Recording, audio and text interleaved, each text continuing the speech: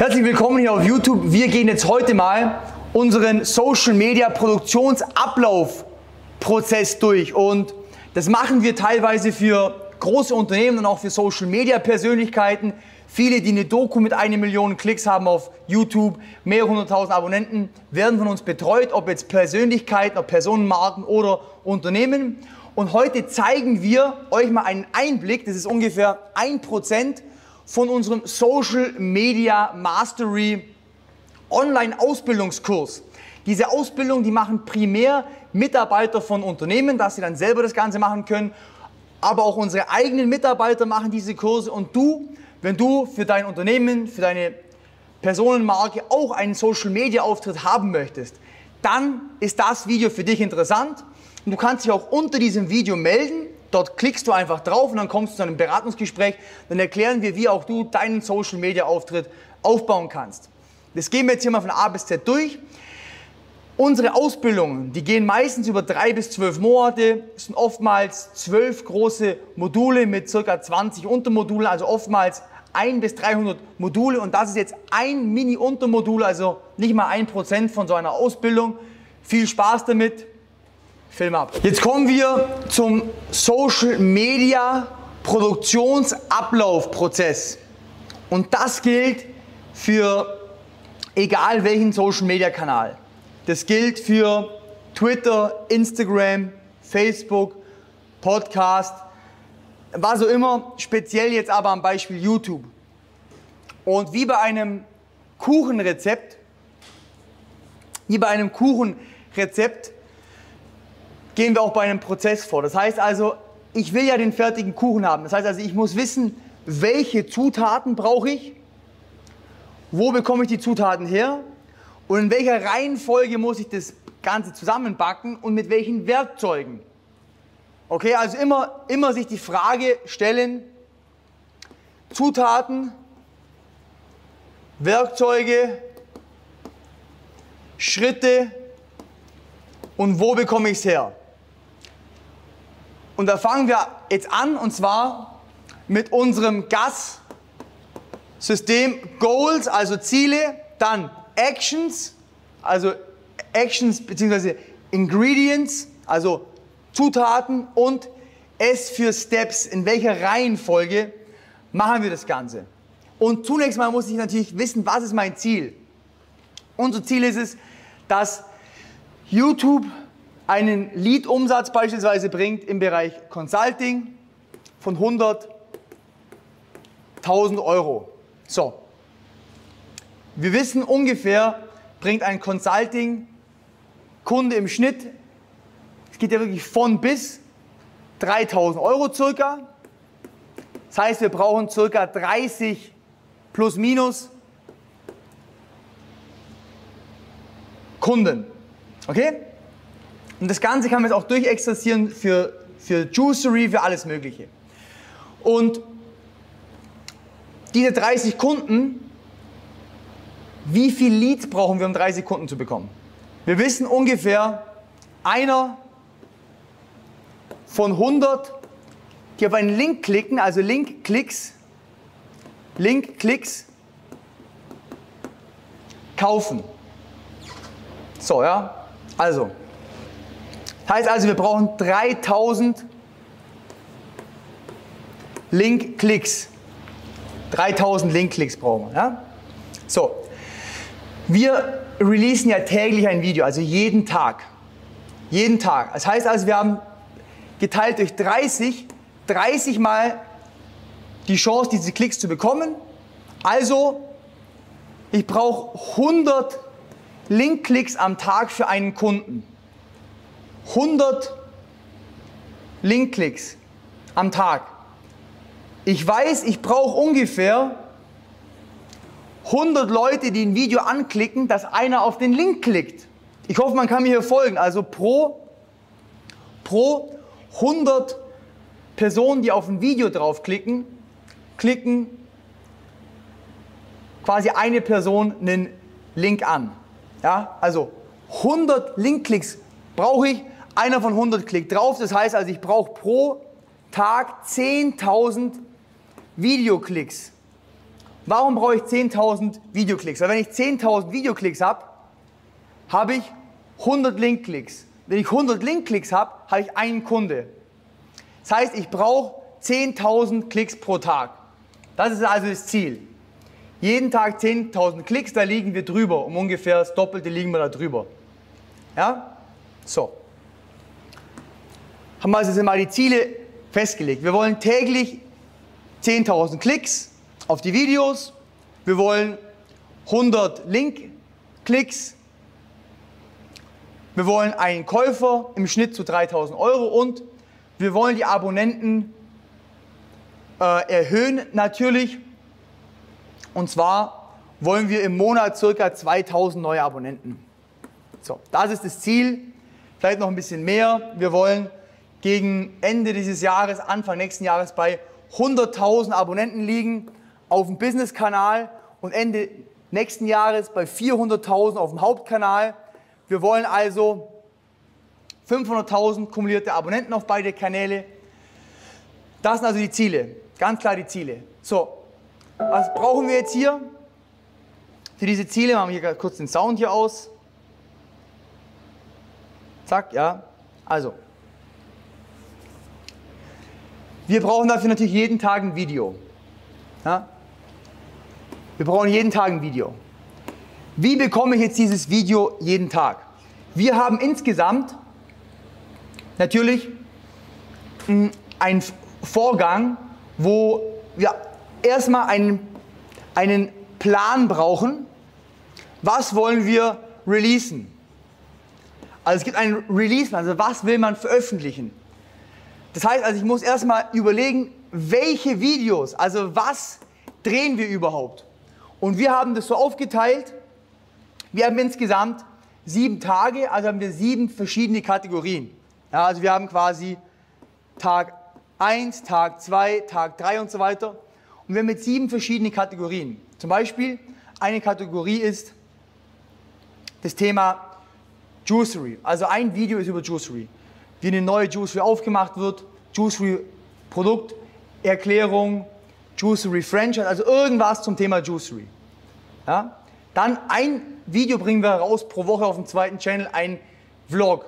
Zum Beispiel dieser Juicery Vlog in Stuttgart oder Vlog in Mailand, Dolce Gabbana Fashion Show. Aber ganz wichtig, in jedem Video muss immer der Hinweis sein auf die Business Links unter dem Video. Kein, also kein Video ohne Business Pitch. Man kann natürlich, wenn man jetzt eher einen Kanal hat, wo man weniger pitcht, auch nur jedes zweite, dritte, vierte Video pitchen. Wir pitchen in jedem Video. Das ist einfach unser Style ist. Einfach unser Style. So.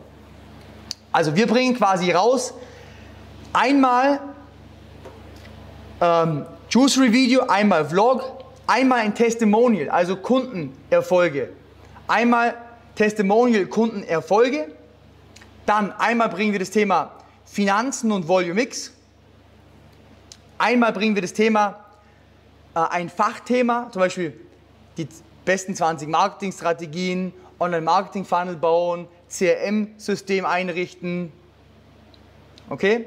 Und dann zweimal virale Videos. Einmal ein polarisierendes, virales Video und einmal ein normales, virales Video. Das heißt also, wir müssen ja, ein, eine Aktions- Schritt ist, wir müssen den Drehplan fertig drehen. Wir haben insgesamt sieben verschiedene Arten von Videos. Und jetzt müssen wir natürlich immer auf die Videoideen kommen. Und die Videoideen müssen wir dann sortieren. So, das heißt also, unsere ganzen Videoideen kommen hier hin. Ja, das ist hier das gelbe. Da kommen alle Videoideen hin. Erstmal nur alle Ideen. Und zwar pro Kategorie. Also wir müssen immer pro Kategorie fünf Ideen haben. Ja? Pro Kategorie immer mindestens fünf bis zehn Ideen da haben. Und ähm, die Ideen, die ergeben sich natürlich aus unserem täglichen Leben, aber auch, was sind aktuelle Themen und aus den Google Trends und Keyword Research. Okay, das macht dann primär ich. Das heißt, das ist meine Aufgabe. Das ist auch ganz klar, wer hat welche Aufgabe. Das ist meine Aufgabe, die Videoideen. Okay? Es kann aber auch jeder hier Videoideen hinzufügen. Okay? Aber immer in Klammer reinschreiben, dein Name, dass ich weiß, von wem kommt die Idee. Okay? So, dann ergibt sich daraus, welche Videos ich jetzt sofort drehen will. Zum Beispiel, wenn bei einem Thema 10, 20 Vorschläge drin sind, dann gibt es immer, nachdem ich die Ideen sortiert habe, die Videos, die ich sofort drehen will. Und dann gibt es quasi jeden Montag und Dienstag drehen wir, also Montag und Dienstag ist Drehtag. Montag und Dienstag ist Drehtag. Das heißt, da bei Rot kommen die Videos rein, die sollen produziert werden. Und dann bei Blau kommt rein, welche sind fertig und wann kommen die raus. Und wir releasen quasi so, von links nach rechts und dann von oben nach unten. Das heißt immer, sobald jetzt diese drei, vier Videos, die wir besprochen haben, draußen sind, kommt es quasi genau so. Bam, bam, bam, bam, bam, eins runter, bam, bam. Also wird dann quasi released. Das ist ja quasi der Release-Plan. Okay? Also, Videoideen, Videos sortiert, dann die To-Dos, dann das Ganze abdrehen, fertig machen. Jetzt Drehtagesmontag, Dienstag jetzt zum Thema Equipment. Für das Equipment ist zuständig der Paul. Paul ist dafür zuständig, dass immer Equipment hier ist. Speicherkarten, Lichter, Sound, Kameras. Wer Anfänger ist, der kann auch mit dem iPhone filmen. Ja, Anfänger können mit iPhone filmen. Wir filmen natürlich mit besserem Equipment. Kannst du mal kurz sagen, Paul, mit was wir da jetzt gerade filmen? Also jetzt gerade mit einem Sony 4K Camcorder. Die meisten äh, mobilen Kameras ist eine Sony Alpha 7 III Ja, mit verschiedenen Objektiven, am besten Zoom-Objektiv. aber Ja. Ist einfach spontaner oder auch Festbrennweiten mit Ja. Blende sowas verwenden wir. wir schreiben es eh noch drunter. Und dann, ich habe feste Drehtage und dann, nachdem diese Drehtage fertig sind, kommt es in unseren Ordner rein. Ja? Und in unserem Social Media Ordner ist folgendes. Erstmal ist in unserem Social Media Ordner ein Video, sowas wie das hier, was den Prozessablauf erklärt. Dieses Video erklärt den Prozessablauf. Okay? Dann gibt es diese Excel-Tabelle mit dem ganz klaren Dreh- und Release-Plan und dann gibt es einzelne Ordner mit den Videos. Und sobald ein Video fertig gefilmt ist, kommt es in den Ordner rein, wird geschnitten und es wird gleich gesagt, was für einen Titel bekommt das Video, also ein Arbeitstitel, welches Bild will man da drin haben und mit welchem Links, also welche Links kommen, also was wird beworben. Das heißt, wir brauchen schon mal dann eine grobe Titelidee, eine Bildidee oder schon ein Bild und den Link. Zu welchem Lead-Magneten, zu welchem Funnel, Bewerbergespräch, Webinar, Ticketlink, Webseitenlink, Produktlink et- etc. Okay? Das heißt, das sind alles die Steps, die wir brauchen. Also wir brauchen quasi einen Release-Plan, wir brauchen die Videoideen, wir brauchen Drehtage, wir brauchen Equipment und dann brauchen wir einen Ordner, Social Media Ordner. Da ist dann einmal drin ein Video, wo von A bis Z erklärt wird, wie man alles macht. Und zwar genau dieses, das ist da, dieses Video hier, okay, dass man das Ganze auch an Mitarbeiter abgeben kann. Das ist zum Beispiel ähm, all diese einzelnen Themen werden erklärt, wie die gehen, und dann kann es an einen Mitarbeiter abgeben, dass der Mitarbeiter die Aufgabe übernimmt. Das heißt also, die Aufgabe von Paul ist zum Beispiel, Equipment da zu haben, abzufilmen, richtig hochzuladen, zu schauen, dass äh, Titel, Bild und so weiter da ist. Die Aufgabe von Wladimir ist dann der Link, und dass dann der Ordner da ist und dass immer, dass immer für circa 30 Tage im Voraus Videos da sind. Das ist immer, ich kann einen Monat lang weg sein, kommt trotzdem jeden Tag ein Video raus und wir machen 100.000 Euro Umsatz rein über YouTube. Ja? Minimum. Okay? Wer war das? Das, also Zielsetzung, Aktionsschritte und die Reihenfolge nochmal ganz genau erklärt. Also, ich muss mir das Equipment besorgen, Kamera, Audio, Dreh, Speicherkarte, Ladegeräte, alles besorgen. Dazu kommen dann noch ein paar Hinweise unten rein, was wir da machen. Okay? So, dann, sobald ich diese Geräte habe, brauche ich einen Ordner. In diesem Ordner ist drin einmal Anleitungsvideos und dann Excel-Tabelle. Und in dieser Excel-Tabelle ist folgendes drin und zwar einmal der Kanal, zum Beispiel YouTube, okay? Und dann die ganzen Videokategorien. 1, 2, 3, 4, 5, 6. Vielleicht hast du auch nur eine oder zwei Videokategorien. Und dann kommen die Ideen. Die Ideen, dann kommen die ganzen Ideen rein. Dann kommt To-Do, was am Drehtag wirklich abgefilmt werden muss bis zu einem gewissen Datum. Und dann kommt der Release-Plan. Und da kommen dann die Links der Videos rein. Und jeder Link führt zu einem weiteren Ordner, ja, und zwar der Ordner mit den un- und den fertig geschnittenen Videos plus Bilder plus Titel. Und dann haben wir einen Monat lang vorausgearbeitet. Jeder hat seine Aufgabe und wir ballern die Videos eins am anderen raus. Und dann am Ende vom Monat gibt es immer die Analyse, weil wir haben natürlich unter unseren Videos Tracking-Links.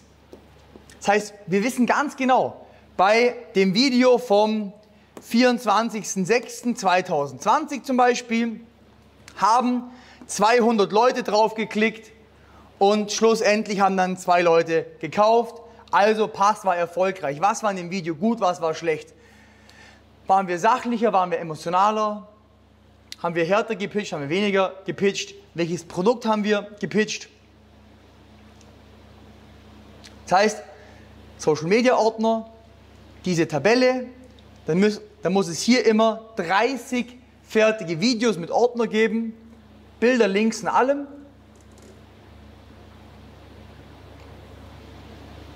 Zack, und das war's. Gibt es zu diesem Prozessablaufplan Fragen? Und nochmal, die beteiligten Personen bei uns einmal Kamera- und Technikperson, Einmal Person für Qualitätskontrolle und Links, also zum Drüberschauen und Links. Und einmal die Person, die das Video schneidet, den Titel fertig macht und das Bild fertig macht und auch die Videobeschreibung fertig macht. Ja, und dann bin ich dafür da, Videoideen zu machen und dann auch das Video. Das Video wird dann auch, auch überall beworben. Dann kommt das Video in unsere WhatsApp-Gruppe, das Video kommt in den Newsletter, das Video wird auf Telegram gepostet, dann wird, wird nämlich das Video dann eben beworben im Anschluss. Und dann haben wir unsere Marketingabteilung und die schaltet dann eben noch Werbung aufs Video. Da ist jetzt alles klar, wie man zu einem Social Media Produktionsablauf kommt, welche Aufgaben und Personen involviert sind. Und so läuft das Ganze ab. Und dann gibt es noch zu jedem einzelnen Thema hier in unserem Social Media Mastery Kurs ein Video, wo man ganz tief reingeht. Wie findet man die richtigen Videoideen? Was sind die Videotitel? Wie vermarkte ich die Videos? Wie baue ich dann die Links und die Funnels hinten rum, um den Umsatz zu machen und so weiter? Aber gibt es zu dem jetzt noch Fragen? Ja, also ein, eine Sache. Ähm, wenn ich jetzt zum Beispiel nicht hier bin und ein Video wird gefilmt, Hm. okay? An einem Montag, Dienstag, dann wird das Nee, so Video. spontan meine ich jetzt. Ja, also wenn, es, wenn das Video spontan gefilmt wird, ja, dann sollte es erstens mal keinen Zeitdruck haben, dass es online kommt. Ja, dann gehe ich aber her und dann schaue ich, welcher Mitarbeiter, also entweder Joseph, Markus oder Wladimir, Joseph, Markus oder Wladimir nehmen dann am Abend das Video und die laden das dann hoch. Okay, also Ja, passt. Ja. Nicht, dass ich dann. Also, Genau. Ja. Auch immer, auch immer der wichtige Fall, was ist, wenn man an einem anderen Drehtag was dreht, was spontan dreht, wenn man es schnell hoch muss. Kann ja mal vorkommen. Ja? Das war's mit dem Video. Wenn du mehr erfahren möchtest, wie du für dein Unternehmen, für dich als Person und für deine Produkte einen Social Media Auftritt aufbaust auf YouTube, Instagram, überall, dann mach ein Beratungsgespräch mit uns. Das war ein Mini-Einblick, wie wir arbeiten. Natürlich gibt es dann Videos, Folien, Checklisten, alles Mögliche. Bis dann und ansonsten abonniere einfach den Kanal und genießt den kostenlosen Inhalt. Ciao.